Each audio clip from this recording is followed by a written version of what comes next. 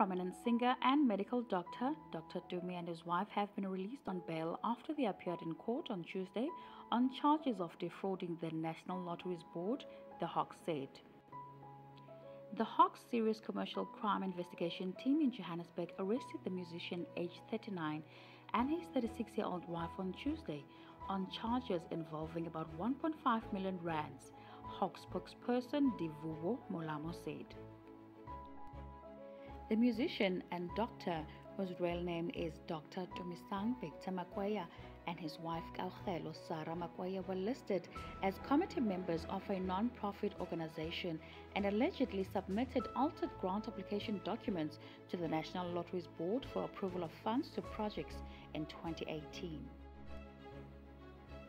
Further investigations revealed that the couple and their co-accused Christopher Chivule and Thomas Ndadza submitted the documents to the National Lotteries Commission in September 2018, resulting in more than 1.5 million rands being transferred into a private bank account.